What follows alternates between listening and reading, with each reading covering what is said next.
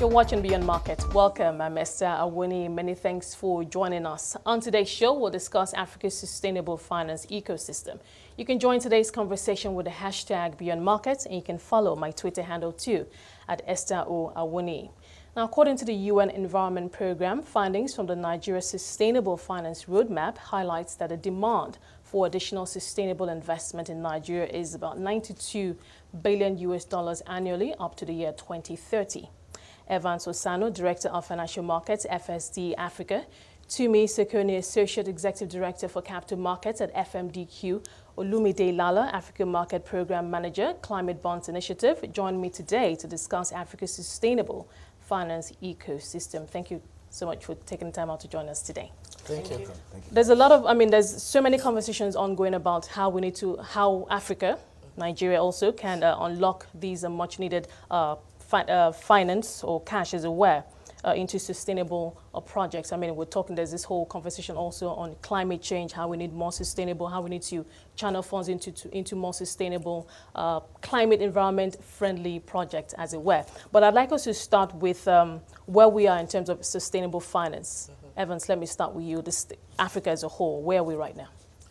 Good. So maybe I should start by defining what sustainable finance okay. is. Um, it's basically finance that takes into account not just the profits that are being generated from projects, but also the impact on people and also the planet, which is what we call environment. So if we extrapolate that, we talk about uh, ESG principles or environmental social governance uh, principles. And the UN, of course, has gone further to break it down into sustainable development goals in those three you know, categories. Okay. So that's what uh, we generally talk about uh, uh, sustainable finance. Uh, okay, Tim, let me hear your let me hear your thoughts on that. The way I see it is sustainability just goes as, as um, Dr. Evans said, goes beyond profits. We also have to look at the social, environmental, and governance aspects of things. So when we talk about social, we talk about healthcare. We talk about human rights, for instance. You know, so those things are things that um, just go beyond I'm just going to make some money, which is just going to be for maybe just a few. Mm -hmm. But I'm also looking at how, at how the environment is sustained for future generations and how people are able to actually live, you know, good lives. You know, so Olumide, let me come to you now. Nigeria already has you know, taken that first step, uh, trying to develop its green bond market. We saw that issue last year, the first uh, green bond, and uh, we had good subscription. But talk to us first of all your perspective on the first general question, and what strides or where we are as a country in terms of how we're trying to develop our green bonds market? Um, I guess where we are, it's not where we need to be, for starters. Um, I think it's beyond self. Um, we make reference to the issuance of the federal government bond, okay. um, which was obviously the government taking the first step to defining uh, what was a demonstration bond, but defining the standards to which we will all be held accountable. That said, the market itself will not grow from just the government. That's why we de developed and started the market development program. It's actually focusing on the corporate itself and how the corporates can partner with the government to actually help develop the economy.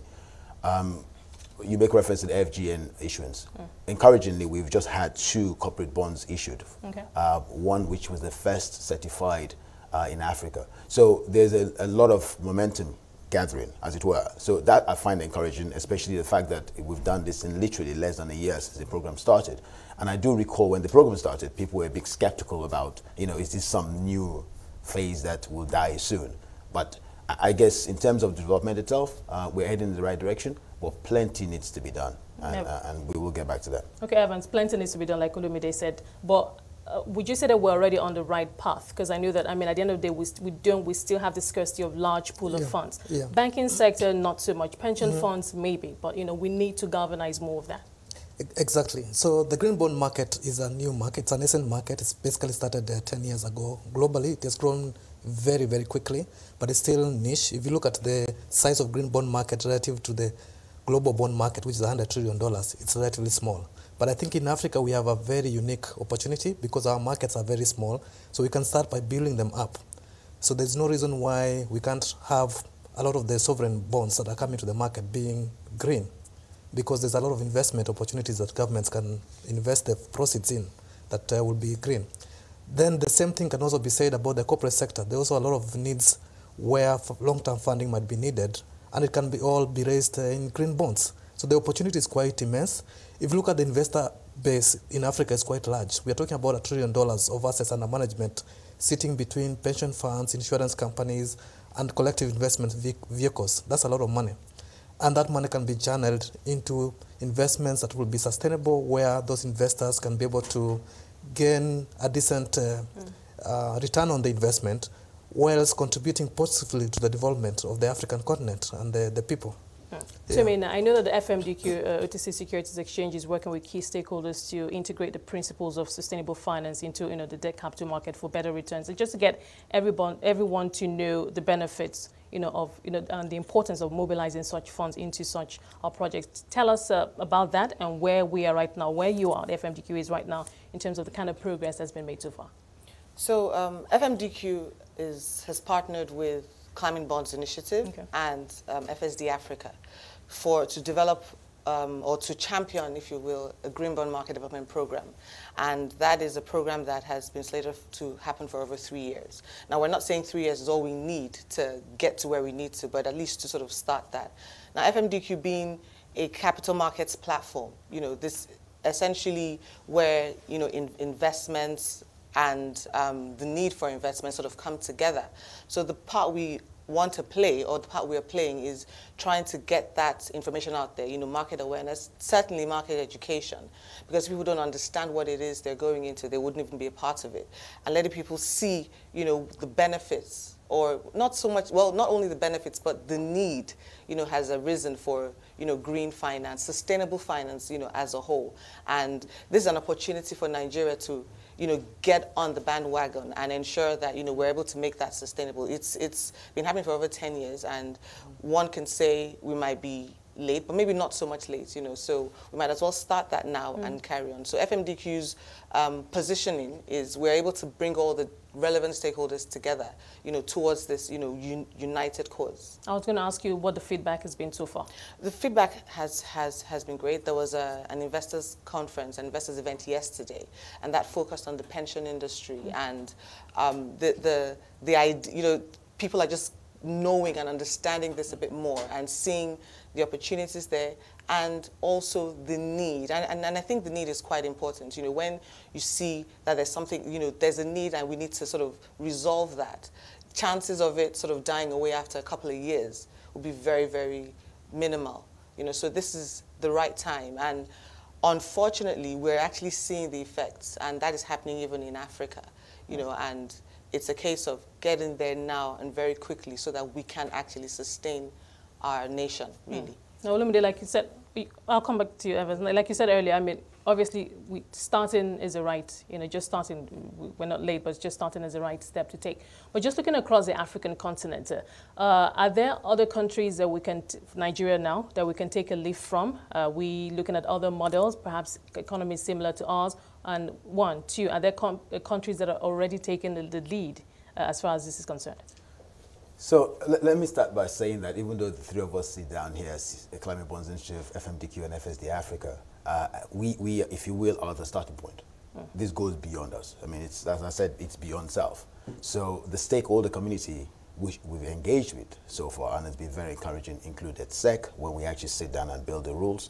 We've actually dealt with the uh, Environment Ministry, we've had to deal with Finance Ministry, DMO, we've had to deal with CBN, uh, all the way down to even our partners at the Nigerian Stock Exchange, all the way through to uh, uh, the corporates on the issuing side, as well as PenCom, who helped mm-hmm. host the uh, investor conference yesterday. So it is actually uh, ours, if you will. It's a community uh, uh, issue, not just the three of us sitting down here. We are, if you will, the, the proponent of the message. But okay. it takes all of us, even the individuals themselves, because you need to understand how this impacts you personally.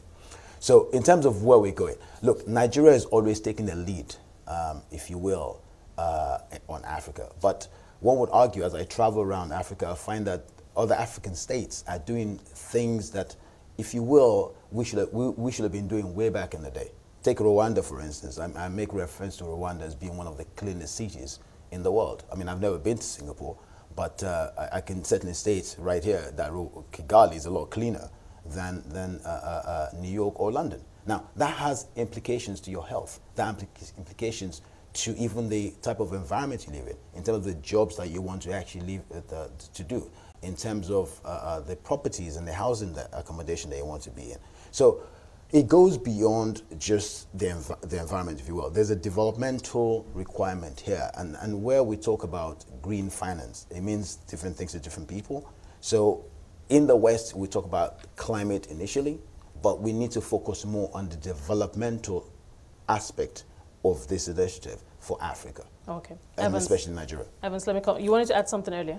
Lumide has covered part of that. What Okay. I wanted to say was that uh, the Green Bond program in Nigeria is building an ecosystem. So we're taking a market building approach because it's a new, uh, in a new instrument we're introducing in the market. So the lack of awareness cuts across uh, different layers from regulators, from the market, from intermediaries, from potential issuers. And that's what the program is trying to address by coming up with the invest, investment guideline of coming up with issuance guidelines that will enable issuers who want to come to the market to actually issue bonds that are certified as uh, uh, or labeled as green. And then we also training and working with the investors to understand why investing in green is important. And then of course hand-holding potential issuers to come to the market so that they can understand the process of issuing uh, green labeled or certified uh, bonds in the market. And then of course trying to build a community of uh, locally based uh, verifiers Okay. who will be able to provide uh, services to the green bond market in Nigeria beyond the three-year program uh, period that we have. Okay, let's Yeah. go now into, I mean, the opportunities in the market, opportunities for institutional investors. Tumi, let me come to you now. Which sectors would you say offer the most opportunity for sustainable finance in Nigeria? It's, it's, it's pretty much everywhere around, and there's Or would you housing. say they're priority sectors? Well, Should we yeah, I would, prioritize? I would say transportation. You know, um, and we're probably we were speaking earlier before we started the program, and talking about how you know there's road congestion. You know, there's there's pollution everywhere. Now, if we had um, more, as in better um, public transportation system, you'd find fewer people needing to use cars, and obviously lower gas emissions. So transportation, housing, I mean, there's a housing deficit, you know, and when we're building houses, we can actually build them in line with ensuring that they're sustainable. So I, I, would, I would say um, transportation, housing, at least. There's, there's also hydro, you know, there's water. Like I said, it's, I think there's a Ac- lot, across- almost across everywhere because we're pretty much in, at the beginning stages, you know, in Nigeria. So it's a huge opportunity. So when you want to, you know, build, you know, your transport networks, look at it being, you know, look at the sustainable angle. When you're building more houses, look at that angle as well. So I think Okay. that's just a definitely not business as usual. A different model now. I mean, different. These times have called for a different, the need for a different model altogether. Absolutely. We're going to take a short break at this point to come back and pick up from where we left off. Thank you for your time so far. I've been speaking to Evans Osano, Director of Financial Markets, FSD Africa, Tumi Sekoni, Associate Executive Director for Capital Markets at FMDQ, Olumide Lala, African Markets Program Manager, Climate Bonds Initiative. We'll continue. If you're just joining us, Evans Osano, Director of Financial Markets, FSD Africa, Tumi Sekoni, Associate Executive Director for Capital Markets at FMDQ, and Olumide Lala, African Market Program Manager, Climate Bonds Initiative, are with me today, and we're discussing Africa's sustainable finance ecosystem. Olumide, let me start with you. Picking up from where we left off, looking at some of the uh, sectors that uh, pose that can be uh, where we can start from as far as opportunities are concerned. We're talking about power just before we went on the break, and it's been it's often been said that look, if we can solve the power problem, you know, we solve a myriad of other uh, challenges. But let's hear your perspective. Well, I'll put it this way: to develop any nation, right, it's said that you need a thousand megawatts per million people. Japan today has 126 million people, and they generate 312,000 megawatts. South Africa down the road has 55 million people, and they generate 50,000 megawatts. Nigeria has three times the size of South Africa, and we only distribute less than 5,000 megawatts. Now that tells you something. For me, it's not about it's not a numbers game. You can tell me all day long that we have potentially the largest economy in Africa, but you know it's about what you actually generate. If you cannot power your industry, you're literally dead in the water. So for me, energy is the first point to call. Now, just to put you in perspective, we talk about oil and gas. Now, even as a transitional path, yeah, with, to a low carbon, which is renewables, we talk about oil and gas today, and nobody's even focusing on the gas that we have in so much magnitude, but is actually being wasted and literally polluting the economy. If you solve that problem, moving from crude to gas to renewables, you move away from deforestation because 50% of our domestic energy is firewood. We use aviation for us for cooking, kerosene. We need to get rid of that. So it's even about impacting your health. If you have a more productive society, you create more generate, you generate more jobs.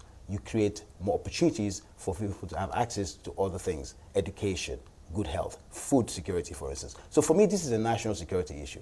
But the conversation here is about how do you access finance for the small to medium sized enterprises that actually help generate and develop this economy. Today, banks are the only sources that you have for those. But banks are risk adverse. They don't understand development finance. It's not their space. They would typically, risk appetite is between three to five years. So we need to start focusing on how we connect the banking sector to the capital markets itself.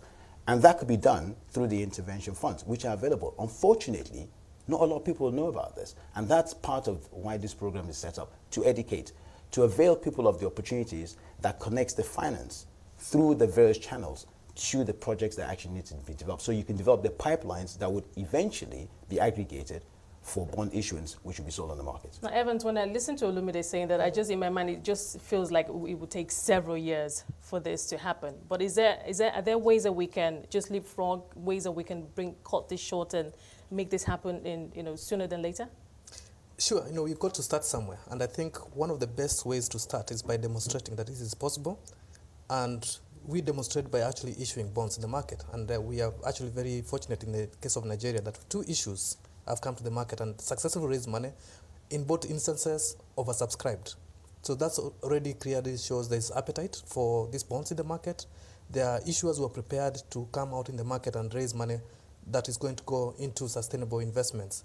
Now we want more issuers to come to the market, and I think that's part of the, what the program is meant to do, to educate those issuers so that we can continuously create a pipeline of issuers who will be coming to market not just once or twice, but will become repeat issuers in the market.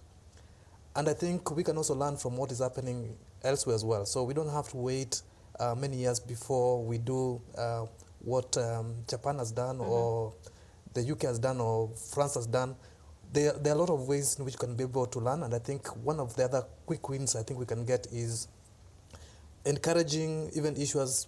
I mean, sovereign. I talked about initially about sovereign issuers coming to the market and leading the way in terms of uh, repeat issues of benchmark size, of reasonable size that can create a good uh, benchmark for the rest of the market. I believe there might be also opportunities if we do much more work of education within the state governments. There's no reason why the state governments who are issuing bonds in the market should not issue green bonds in the market. And I think that would be the next, when I look at Nigeria, that would be the next frontier of where that uh, supply is going to come from. You know, I don't want this to be in Nigeria, just a Nigeria-only conversation. Yeah. Uh, when you talk, when you, when you say this, are you talking across the board, as in uh, the picture, you're painting a picture across African markets, that, in terms of how this can be done? Exactly, and I'm using Nigeria as an example. Okay. So there are other countries that are also in this path. Kenya already has a green bond program that okay. uh, we are also partnering in, okay. together with the Climate Bonds Initiative. And very similarly built to the Nigeria program, we are also trying to create an ecosystem. And we have a number of uh, potential issuers that we are supporting, are very, very actively hand-holding them to encourage them to come to the market and be an example for to the others on what is possible to, to be achieved. And we also working with uh, other uh, governments in Africa as well who are also interested uh, in coming to the market. The Kenyan government has also indicated they want to come to the market and issue a reasonable size uh, bond that will be green and not necessarily just one bond, but uh, make it as part of a continuous uh, program. There's a lot of appetite coming out.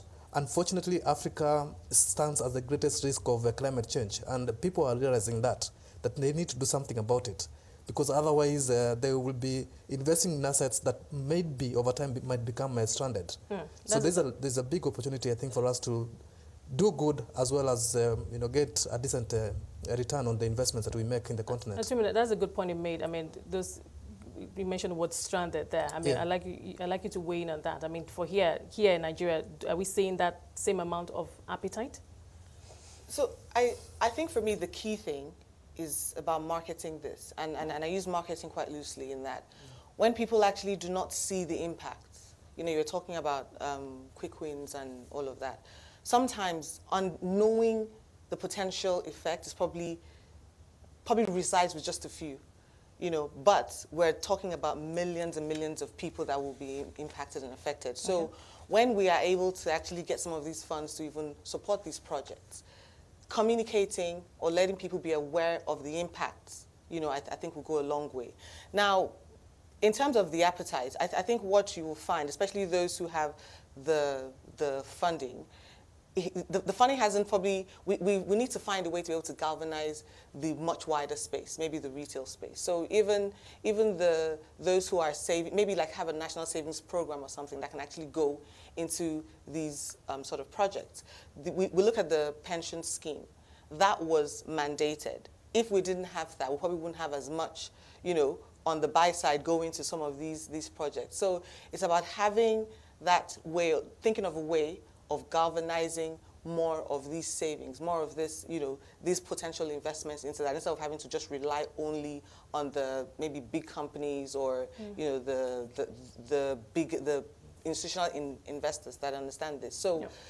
talking about being stranded, I think the, the appetite is there, but I think we also need to get that interest extended and see how we can actually galvanize even the retail space. Maybe you can pick it up from there. How do we get this? How do we get this into? Because it would just it would just seem that we're still obviously we're still at the preliminary, in the early stages, and buy-in is still still growing as it were. But I'm just thinking that at the end of the day, how much time do we have on our hands? We're already seeing the effects of climate change. Nigeria has, I mean, there's we're still we're being called the poverty capital of the world right now. So there's so many projects across so many sectors that need you know those finances to go into immediately. So I'm just wondering, we're still talking at the preliminary stage here. How how can we make things move faster?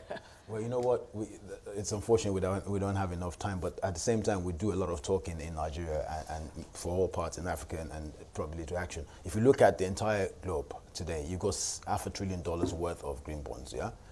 Of which you only have 3 billions issued in Africa. Out of that 3 billion, you've got 2.2 billion issued by the African Development Bank. So for me, the opportunity for the corporates and the and the state to get involved is, is just immense. Yeah? Are they aware of that opportunity? Because we always we always so, say there's, so, there's so, opportunity. there's okay. How right. do we merge that opportunity okay, with those exactly because opportunities, opportunities and potentials don't pay bills. Okay. So literally, we've talked about it's all about definition.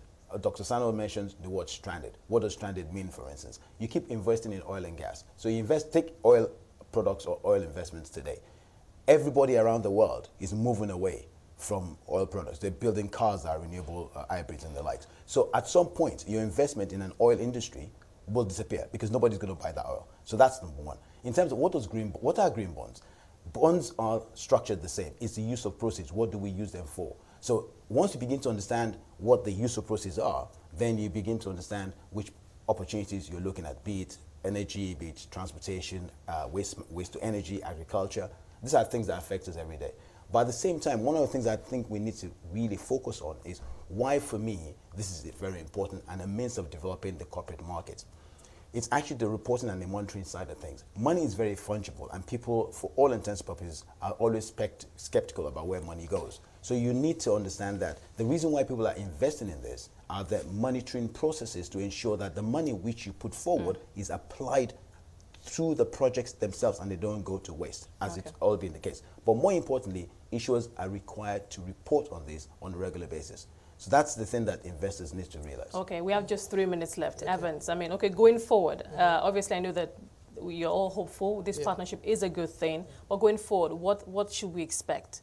Uh, I know that, uh, I mean, these things would take time, obviously. This is one of them. But in terms of effect, impact, what should we look forward to? Yeah, thank you very much for that. So what we have done so far is uh, planting the seed okay. to show that this is possible. We have encouraged issuers to come to the market. They have raised money, and that money that has been raised is going to sustainable investments. So we have shown the example. We can't be there forever. We are hoping that um, the market will pick from where we left, and we'll continue, of course, uh, providing uh, communication, providing capacity building or training so that people can understand this asset class, issuers can understand why they should come to the market, and educating the public as well, why they should be a bit more conscious about the environment. I hope that over time, okay. this asset class is going to become a mainstream asset class. And I think, as I said before, in Africa, we are fortunate that we are starting from a situation where our markets are fairly nascent, so we can build those markets sustainably from the, okay. from the word go. And that's a big opportunity that we have over the more developed uh, markets. Okay, Jimmy, yeah. your thoughts on that? I'll say market education, okay.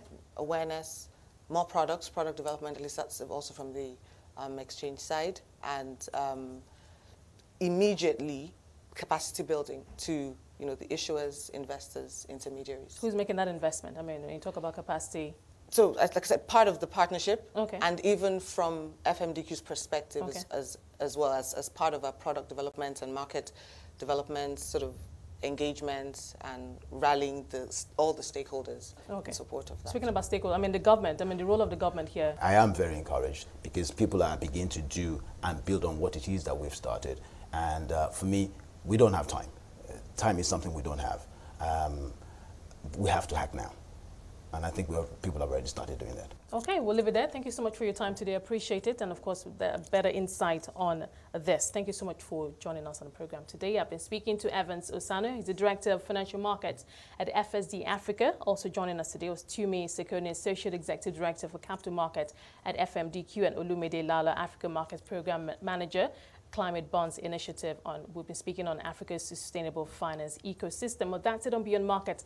Thank you so much for being a part of it. Remember, you can watch the show at 5 p.m. West African time daily and have access to all previous episodes of the show on our website. That's cnbcafrica.com. You can also stay engaged with the hashtag Beyond Markets, and you can follow my Twitter handle too at Esther O Awuni for myself and the team. To have a great day.